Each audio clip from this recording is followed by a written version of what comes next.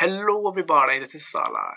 In this C Sharp Windows Form tutorial, you're going to learn to work with error provider control. It's a very useful control to provide or to display the errors and to mark the required fields on the form. For example, here you see I have two text boxes and these text boxes are required. That means they cannot be left emptied. If I do so and click on the submit button, so here you see the error provided by the error provider.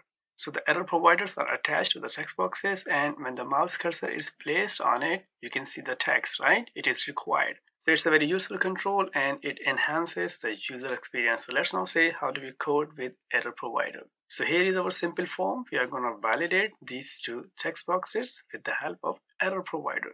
Error provider is a control that you can find in the toolbox window. All you need to do is just search for error provider, right?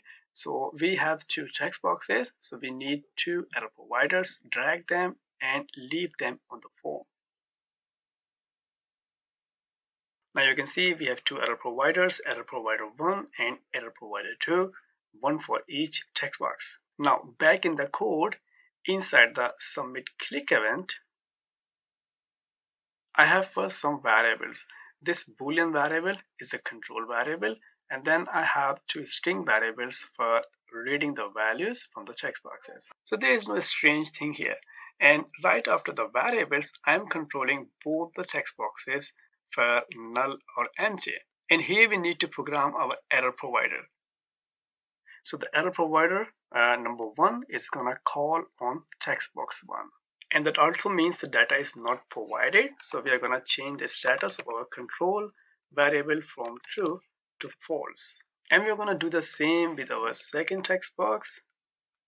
The second error provider is going to attach to the second text box. And lastly, we are going to read the data only if the value in our control variable is true. And then display a message box just to confirm the data is submitted or received.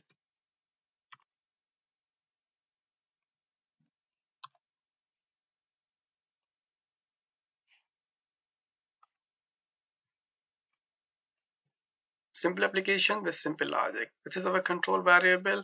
If data is not provided, we are setting it to false. If data is not provided, we are setting it to false. But when the data is provided in both the text boxes, we will never come inside the if statements and our control variable will remain true, right? So in this case, we are gonna read the data from the text boxes. Let's now run this application and check it out. Okay, so leave both the text boxes empty and click on the submit button. And here you see the error provider are providing errors. And if I provide data, let's see, like this, click submit, and here you see data is submitted. One more thing that you can improve here, as you can see, the data is provided, the data is submitted, but the error providers are still there. So we can clear the error providers when data is okay uh, in our text boxes. And to do so, at the top, we can call the clear method on both the providers, error providers. So every time we are going to submit, we will first clear the error providers and then we'll set the error again or do not set the errors if data is provided. So let's now check it out.